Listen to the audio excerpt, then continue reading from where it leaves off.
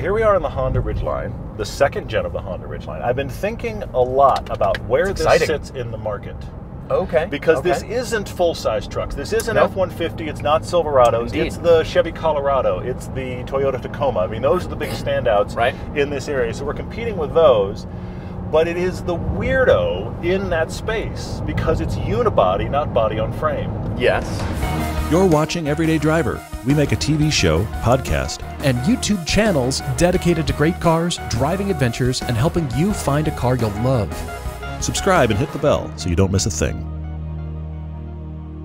Well, it's always been the weirdo. Ever Yeah, since the yeah. Ridgeline appeared on the market, it didn't have the seam, the break Mm-hmm. between the cab and the bed. Yeah. Honda is at its best when Honda just goes off and does its own thing. you remember Yeah. the era, the S2000 and the Mhm. first generation NSX, and everybody's just like, Honda is the best. Yeah. They just kind of rethought everything. Uh-huh, uh-huh. When the Odyssey came out and it had the vacuum in the back, and everybody went, I didn't know I needed this, but I They need sold this. so many vans because of a vacuum. It has a vacuum It's built insane. in. It has nothing to do with vacuum. It just Yes. had to do with the idea Yes. and combining these ideas.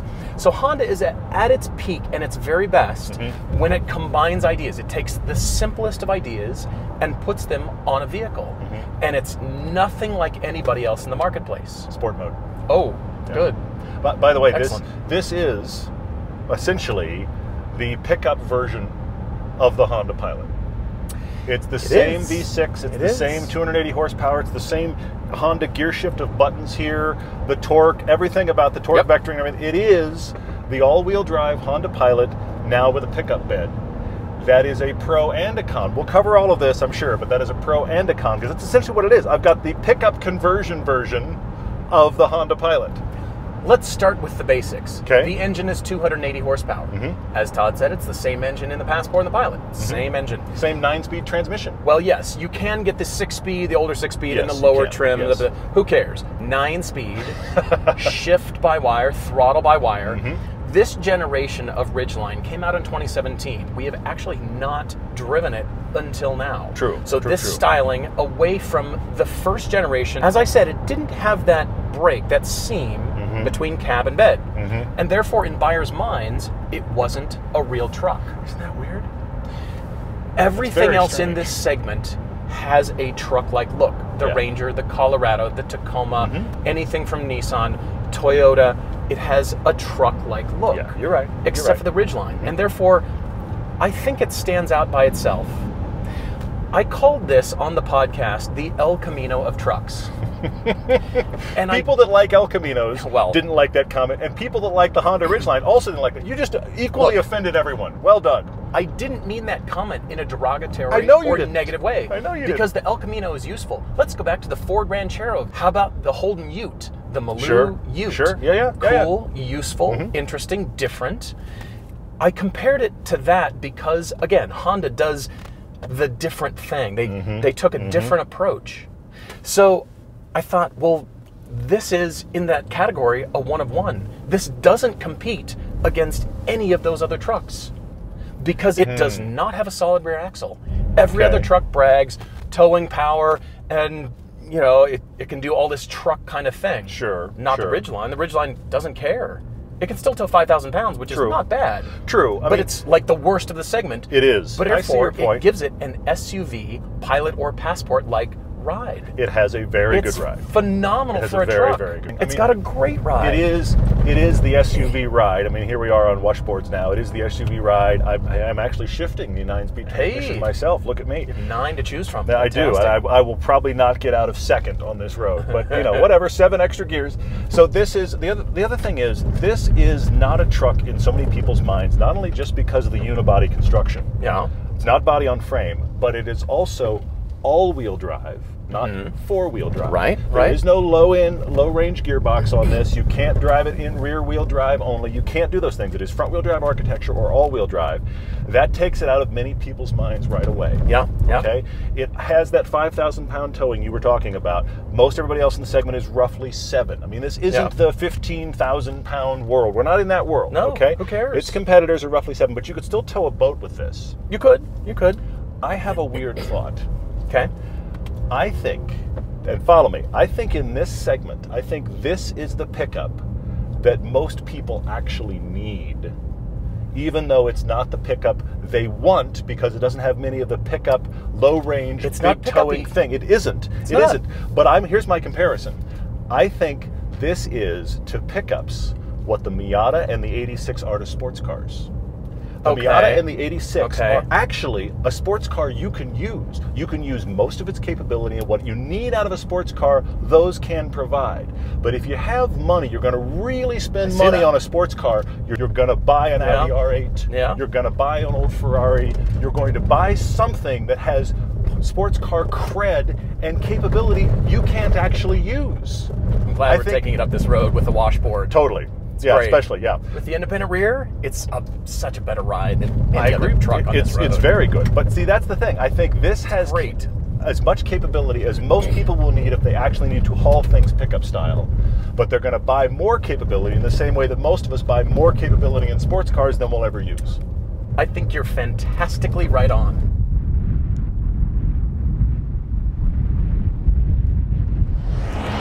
Underneath the bed floor in the back, it is a trunk like a car.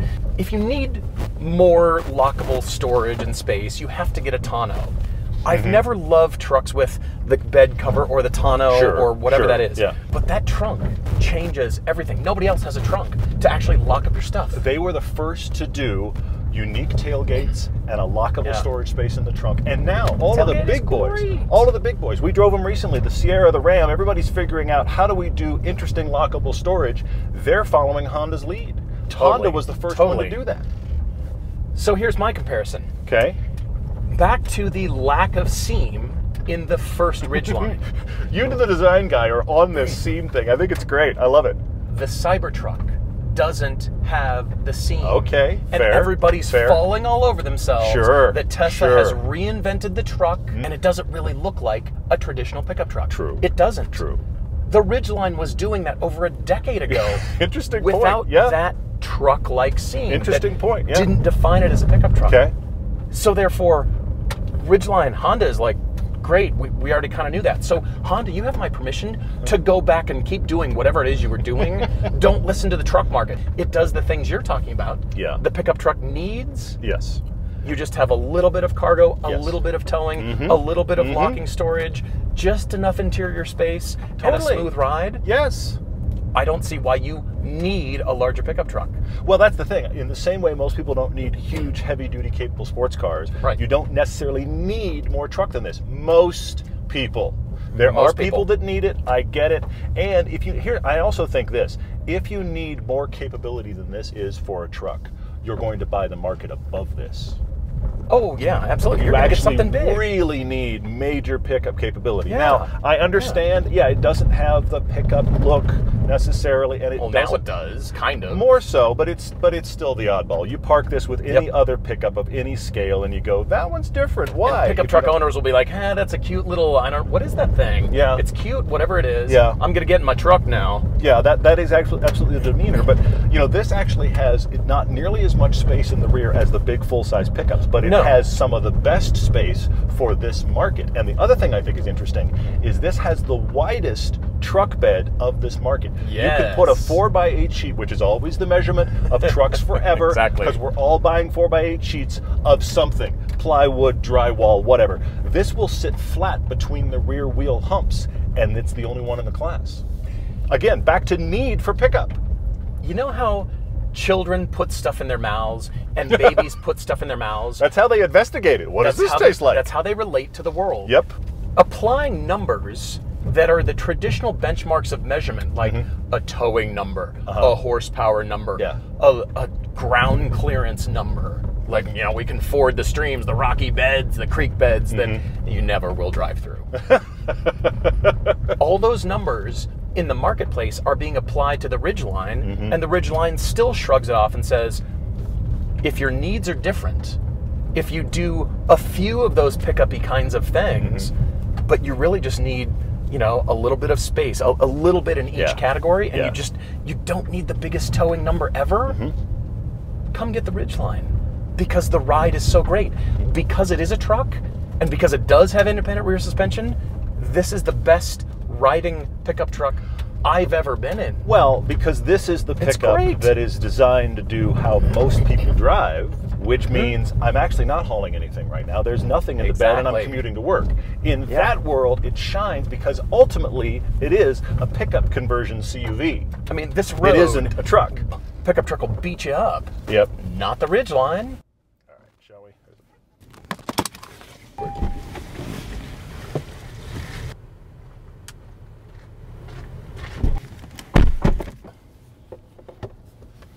When you sit in the Ridgeline, you're going to think you're in a passport or a pilot.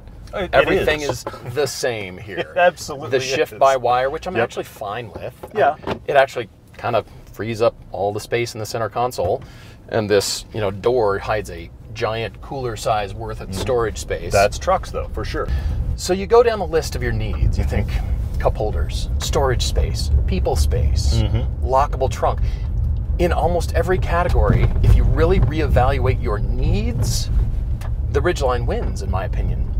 My comment about this being the El Camino was never, like I said, intended to be derogatory. It was intended to be, well, that's a unique, different one of one vehicle Yeah, in the yeah, yeah. marketplace. Okay.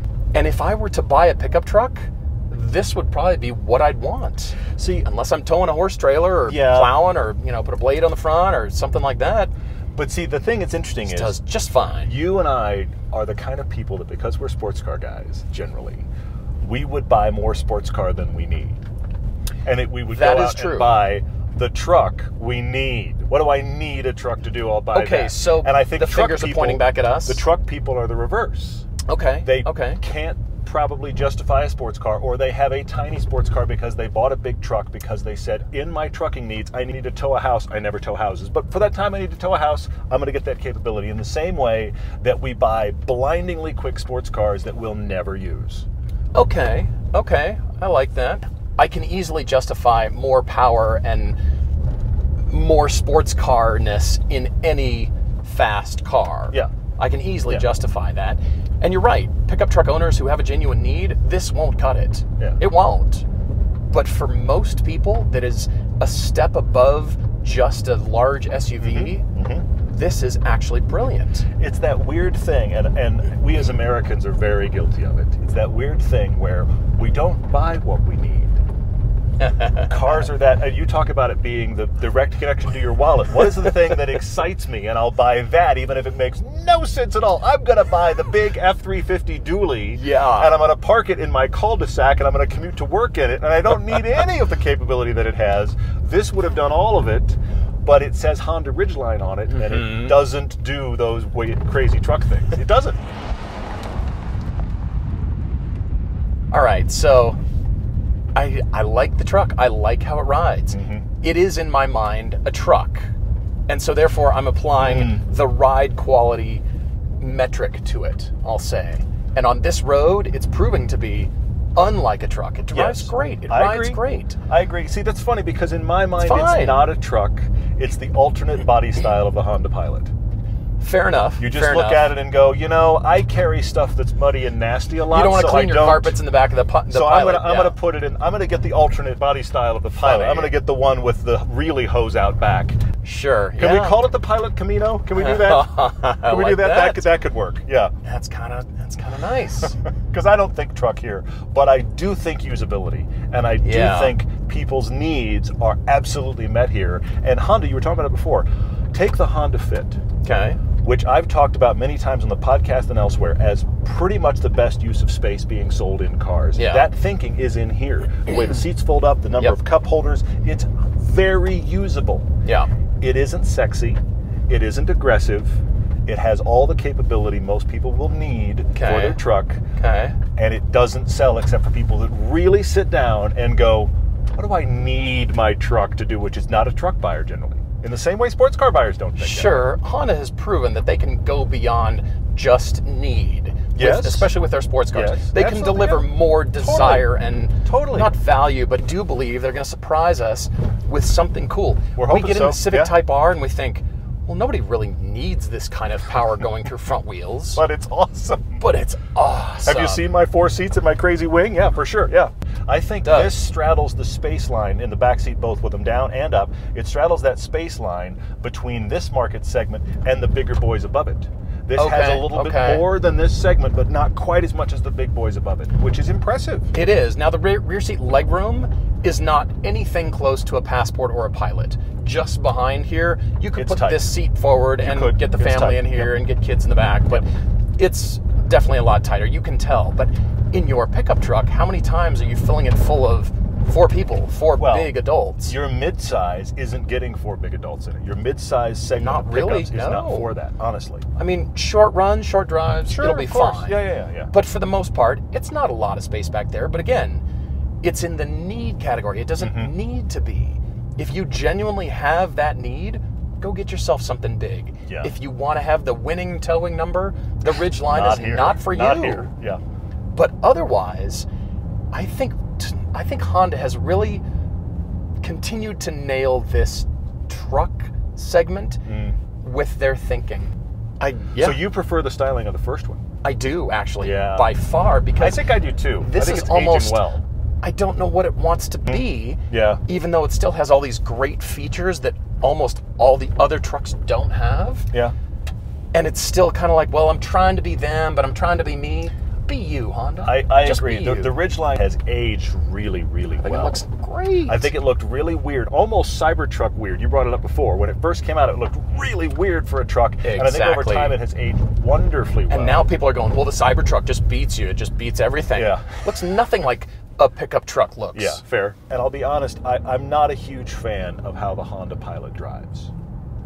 But it's Okay, interesting okay. that this has the same system underneath, the same Mm-hmm. all-wheel drive system, which means Yep. it's front-wheel drive biased, and it throws torque to the rear, and then it throws it side to side. Okay, it's doing yeah, all that yep. automatically, so it does have torque vectoring to the rear wheels.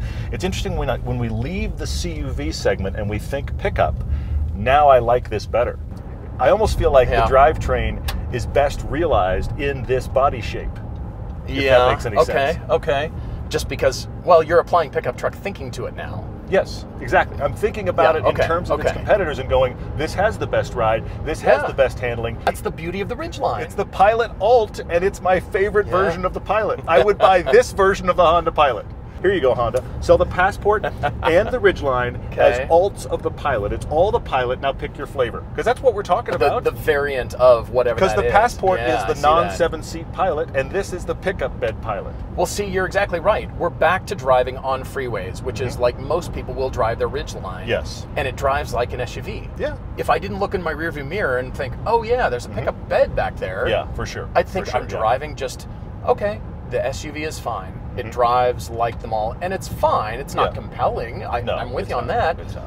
The ride of a pickup truck with an empty bed on a flat road like this, you're just you're beat right Be- in the back. because they're set it up to carry load, and when it doesn't have load, it, it d- doesn't ride well enough. I totally agree. This has none of that. You're right, you're right, yeah. Wonderful.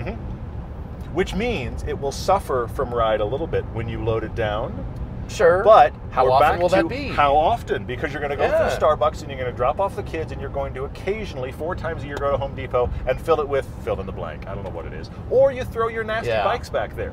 yeah. I mean, True, I'm a guy that I have a sports car with a bike rack on the back. Mm-hmm, And every now and then I have to admit, the only time that I am jealous of pickup truck drivers is when guys can toss their mountain bikes in the back and forget. Sure. Sure. So this is like my mountain bike hauler. It's my perfect mountain bike hauler. I didn't even know I needed it. Apparently I need it for mountain bikes. I don't have the money to do that just to throw it away, but it'd be fun. Hey, so you have to apply that to whatever the mountain bike equation is in Yes. your life then. Yes. What is the thing? I don't quite need the full size anything. Mm-hmm. Even the mid size range of the competitors that we're talking about here, Yeah, yeah, yeah. you don't even need that. Yeah. So, what is the thing in your life that is the equivalent of that that the Ridgeline can handle just fine? And I like it. It's kind of the Miata. It is the do it all answer It's- to everything that is the pickup truck world. It's the truck you need, but it's not the truck that people buy because we buy beyond our needs.